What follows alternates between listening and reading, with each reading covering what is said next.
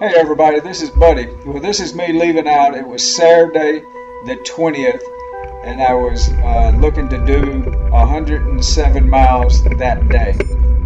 And I did accomplish that. But this is me rolling out, and this is what rolling out at 1.45 in the morning looks like. It's dark, but I can see.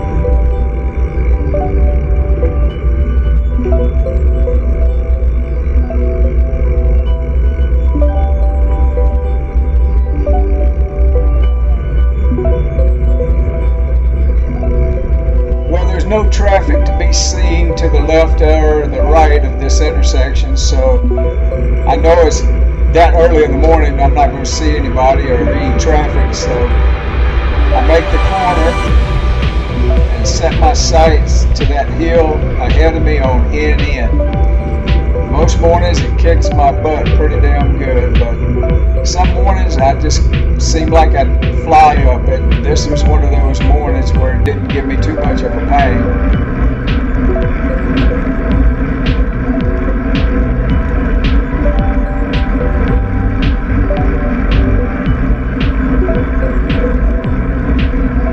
I made my way to Rogersville and I'm almost there. So what you'll see is me coming into Rogersville and pulling up at the McDonald's. It's really early in the morning, so I know, you know, the Hardee's doesn't even open up until 5.30. So as I make this turn, I'm getting ready to go to the McDonald's to get me a drink of water, stretch my legs, and actually do a little deep stretching.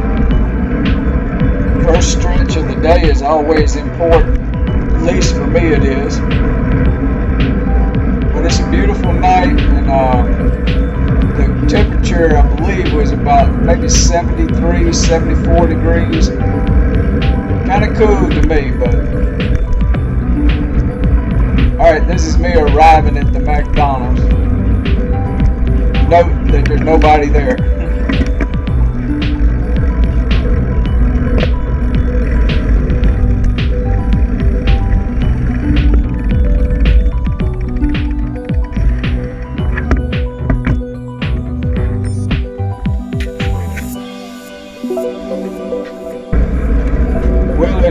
Straight to lap number two, back at at, at McDonald's uh, again. So this is me pulling back into McDonald's.